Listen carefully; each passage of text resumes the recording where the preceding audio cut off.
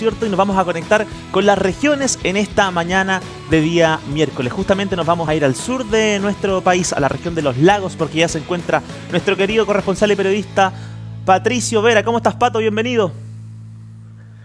¿Cómo estás, Matías? Muy buenos días. Ya nos encontramos en nuevo despacho desde Puerto Montt, específicamente desde la región de los lagos, tal cual como tú lo mencionas, Matías. Hoy para hablar de un tema importante.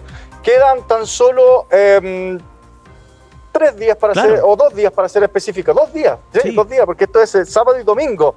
El tema de las elecciones es un tema súper importante eh, y por la historia, por la trascendencia y por la cantidad también de, papeletas que te van a pasar. Matías, te hago una pregunta. ¿Tú viste las papeletas de los constituyentes? La vi. Un papeletón. Gigante. yo creo que ese me, ese me queda como, como pijama. Como pijama la papeleta. así de grande. Bueno, y eso está en todas las regiones. ¿ah? La papeleta está así en, toda, en, toda, en todas las regiones. Pero bueno, para conversar más de eso, y en cierta forma también para tener conocimiento de la gente que nos ve acá en la región de los lagos, específicamente en la comuna de Maullín, la provincia de Yanquihue, porque nos están viendo a esta hora en vivo y en directo, porque estamos conectados junto a Canal 21 eh, con tu conexión matinal, pues claro, para que la gente lo vea y ahí estamos, pero al full entregando informaciones también. Eh, es importante porque la gente mucha se pregunta, ¿habrá transporte? ¿No habrá transporte? ¿Hay movimiento? ¿No hay movimiento? ¿Será gratuito? ¿No será gratuito? Y para conversar de eso, estamos justamente con el eh, Ceremi de Gobierno de la región de los lagos, Luis Toledo Mora, que te digo inmediato, eh, eh, estoy como medio nervioso porque él es de la profesión periodista, así que ah, ya. aquí tengo mi profesor, aquí tengo mi profesor, ¿qué tal? ¿Cómo está? Acérquese nomás, Luis. Luis. Primero saludarlo, bienvenido y eh, un saludo para usted, pues muchas gracias por recibirnos al día de hoy. Bueno, muchas gracias a ustedes que nos dan la posibilidad de poder informar, poder comunicar a, días de, la elección que vamos a vivir, que es una elección histórica. Y acá siempre este lápiz, con este lápiz azul, el mismo lápiz con el que escribimos la materia, anotamos nuestros cuadernos en el liceo, vamos a escribir a través de nuestras cuatro cédulas de sufragio la historia del futuro de Chile. Eh, justamente eh, usted me indicaba, nuestra región tiene particularidades, hay 473 servicios de transporte totalmente gratuitos para que los electores puedan desplazarse tanto el sábado como el domingo a sus distintos locales de votación. Son servicios tanto terrestres como también marítimos. Por ejemplo, en ah, el caso de Maullín, hay servicios gratuitos de barcaza desde Quenuir hacia Maullín por vía fluvial, ¿cierto? A través primero del río Quenuir, después pasando la barra, introduciéndose al río Maullín, y también hay servicios gratuitos desde la pasada hacia Maullín, cruzando eh, el río Maullín ahí en la ciudad del río, una ciudad ya con más de 400 años de historia y que sabemos que los ciudadanos de los distintos puntos de Maullín van a poder llegar a sus locales de votación para poder también participar en esta historia reciente de nuestro país. Exacto. Matías, yo, si tú tienes alguna consulta, dale nomás, yo le puedo pasar ahí algún eh, eh, eh INER al, al Ceremi para que pueda para que pueda conversar con, contigo. Eh, Preguntarle. porque hoy día, hoy día como, vine, como dice el Sol de América, solo vine con INER. Oye, Pato, preguntarle a, a don Luis, al Ceremi, ¿cierto? Si esta idea nace principalmente en la región de los lagos o vamos a verla replicada también en otras partes del país, porque de verdad que me impresiona, no había escuchado que se vaya a hacer algo así, por lo menos acá en Santiago.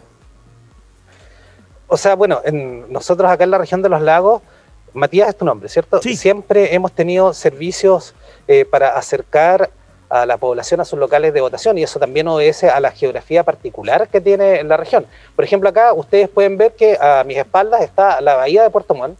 En la bahía de Puerto Montt está, por ejemplo, Isla Mayen y también hay un servicio de lancha que viene desde Mayen hacia Puerto Montt para poder trasladar electores, aun cuando también Mayen tiene su mesa receptora de sufragio, pero muchas veces no todas las personas alcanzan a cambiar sus inscripciones y en general están estos traslados. También eh, hay traslados en las islas, en los sectores insulares para poder ah, acercar a las personas ciertos distintos locales de votación. Un ejemplo, la comuna mm, de Quinchao, ¿cierto? cuya capital es Achao, la comuna de Quinchao está compuesta por seis islas, entonces Obviamente, así como allá en Santiago está la micros del Transantiago, acá es habitual que la gente se traslade en lancha por vía marítima o fluvial en caso de, las zonas que tienen río.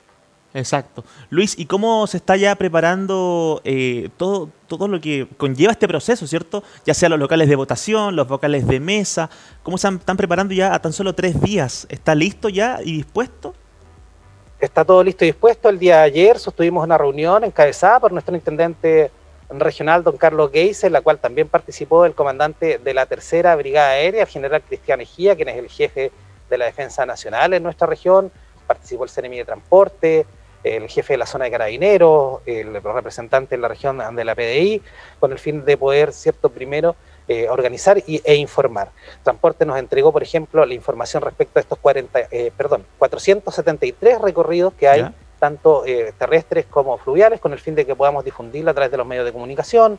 El general Ejía nos dio cuenta que ya a partir de hoy día empieza el despliegue de las Fuerzas Armadas para empezar a tomar el control de los distintos locales sectores de sufragio para poder desarrollar esta jornada electoral que siempre nuestras Fuerzas Armadas y Carabineros han sido los garantes del orden en todos los procesos y no tendría por qué ser esta la excepción y tampoco tendría por qué no ser cierto una jornada eh, ejemplar, como siempre hemos eh, la hemos realizado los chilenos en las distintas ocasiones que nos ha tocado elegir nuestras autoridades. Por supuesto que sí. Y me imagino también que en cuanto al tema sanitario, Luis, también se han tomado distintas medidas, ¿no? Así es, eh, las medidas que se han tomado, ¿cierto? Son recomendaciones. Si ustedes me dan un segundo, tenemos un volante que nosotros estamos distribuyendo con el fin de, poder eh, informar a la población. El día de ayer estuvimos en el terminal de buses de Puerto Montt entregando este volante, que es un, volante que te entrega las recomendaciones para unas elecciones seguras. Acá están todas las recomendaciones, ¿cierto? Respecto a los horarios, el horario extendido, el eh, trato preferente que tienen los grupos de riesgo, como son nuestros adultos, nuestros adultos mayores, las embarazadas, que pueden cierto concurrir a votar en cualquier horario, ya sea entre las 8 y las 18 horas de las dos jornadas y siempre van a tener la preferencia para eh, poder emitir su sufragio. Ahora, ¿cuál es la recomendación que hacemos como gobierno?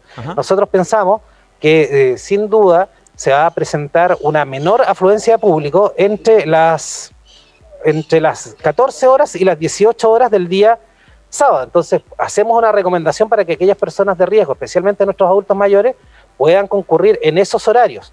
Ahora es solo una recomendación. Si las personas tienen que salir de su casa a sufragar en otro horario, las personas adultos mayores, las embarazadas, los discapacitados, siempre van a tener la preferencia al momento de llegar a su mes. ¿Cuáles son las recomendaciones básicas para esto? Primero, siempre portar la mascarilla. No sacársela en ningún momento, excepto en breves segundos para poder ser identificado por el presidente de la mesa al momento que él tiene nuestra cédula de identidad, para saber que efectivamente coincida con la persona que aparece en la foto. Eh, segundo, ¿cierto? Mantener al menos un metro de distancia física entre los electores y también, ¿cierto? El presidente de la mesa, los vocales, los apoderados, en fin, todos los las personas intervinientes en este proceso.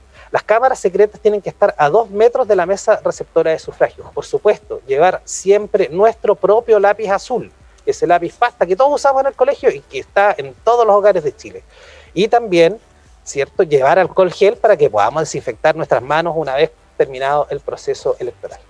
Claro que sí. Gracias Luis por darnos esas recomendaciones que nunca están de más. A dos o tres días ya de la votación tenemos que saber cuáles tienen que ser eh, las medidas que debemos tomar todos para evitar los contagios y no exponernos. Pato, pregunta para ti, ¿cómo se ha visto también em, el movimiento en la calle? ¿Hay ganas de, participación, cierto, de la gente? ¿Hay candidatos que la gente prefiere eh, o que tienen ganas de ir a votar por uno de ellos?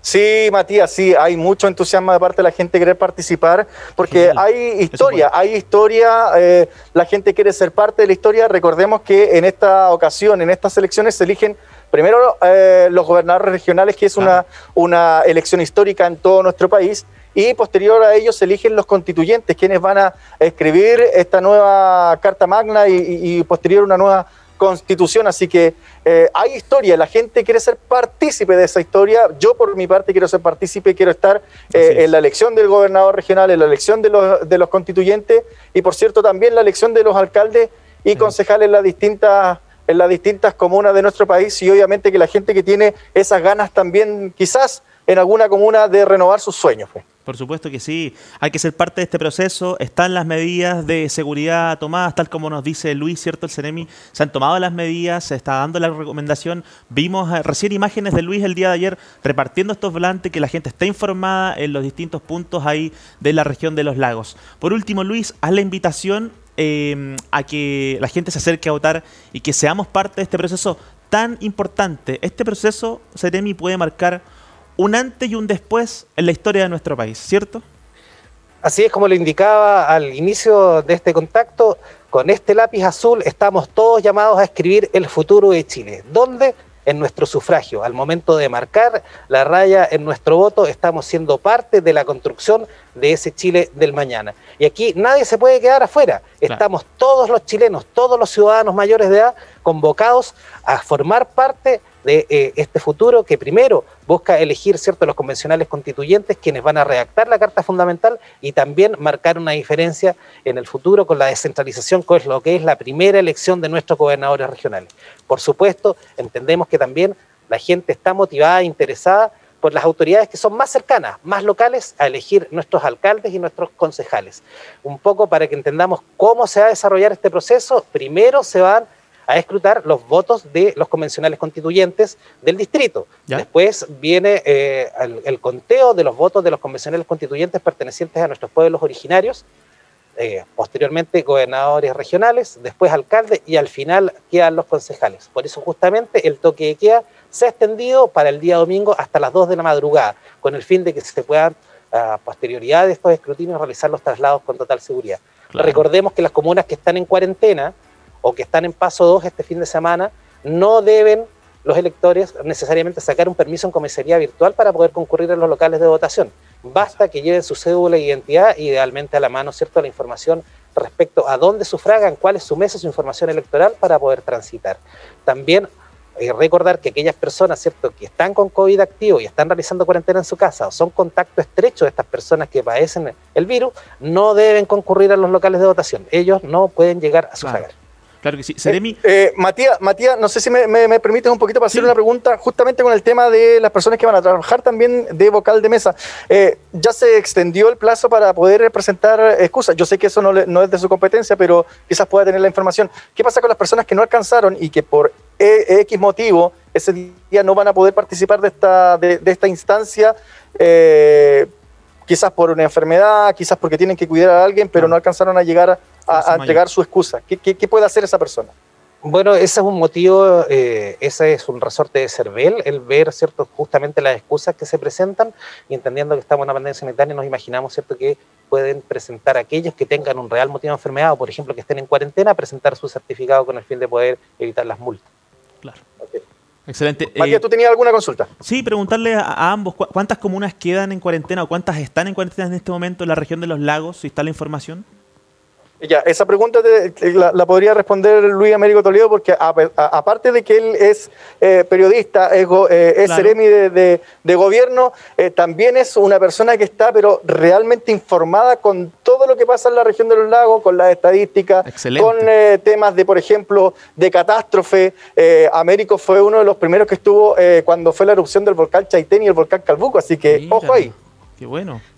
Son varias las comunas que quedan en cuarentena. En este momento recuerdo que pasa a cuarentena, por ejemplo, Yanquihue, que permanece en cuarentena frutillar, al menos acá en la provincia de Yanquihue. Ya se liberó Cochamó, que pasó a, fase 2. Y eh, también hay algunas comunas en cuarentena en la provincia de Osorno. Pero en general, ¿cierto? El dato relevante de esto es que aunque estén en cuarentena, aunque estén en fase 2 y que tengan cuarentena el fin de semana, solo es necesaria la cédula de identidad para poder transitar hacia los locales de votación. Excelente. Bueno, mañana hay reporte MinSal, ¿cierto? Mañana jueves puede haber quizás algún cambio en el plan paso a paso. Tenemos que estar atentos también a ese reporte, querido Pato. Eh, gracias por traernos este reporte. gracias también, Seremi. Adelante. Matías, antes que, antes, que nos vayamos, bueno, le vamos a dar la palabra ahí para que el Seremi se pueda despedir y, obviamente agradecemos a Seremi que nos haya eh, dado la oportunidad de conversar con nosotros, pero movámonos un poquito para que le mostremos el paisaje ahí a la gente en Santiago. Una imagen, pero espectacular, muchachos. Uh, eh, Seremi, usted para mientras despídase nomás. Bueno, muchas gracias. Ahí lo que ustedes ven al un costado de nuestro pabellón nacional es la isla Tenglo, el primer punto insular que tiene nuestra comuna de Puerto Montt hacia el sur. Y detrás de Isla Tenglo justamente está la isla Mayen, que es el, el lugar, el espacio, ¿cierto?, donde están considerados los servicios de transporte marítimo para que los electores puedan concurrir a emitir su sufragio hasta las distintas mesas que están dispuestas acá en la capital de la región de los lagos. Son 34 locales de votación los que tenemos acá en Puerto Montt y esperamos que sin duda los chilenos lleguen, participen y sean parte de esta histórica jornada. Oiga, eh, Seremi, gracias por estar con nosotros. Eh, cuando pase todo esto, espérenos por allá. Yo no conozco la región de los lagos, así que vamos a andar por allá dando una vuelta desde Santiago. Bueno, cuando venga y si el tiempo y las condiciones sanitarias lo permiten, tengan la seguridad acá que vamos a poder realizar un recorrido por los distintos puntos de esta hermosa región. Un abrazo, Luis, que esté muy bien. Que tenga muy buen día. Gracias, Pato, también a ti. Un abrazo, amigo. Bueno, Matías, ahí los dejo. Que estén muy bien. Nos, reencontramos en cualquier nuevo contacto cuando sea necesario, pues, obviamente. Así es. Y que tengas lindo fin de semana y también que toda la región de los lagos vaya a votar. Gracias, Pato. 10 con 58.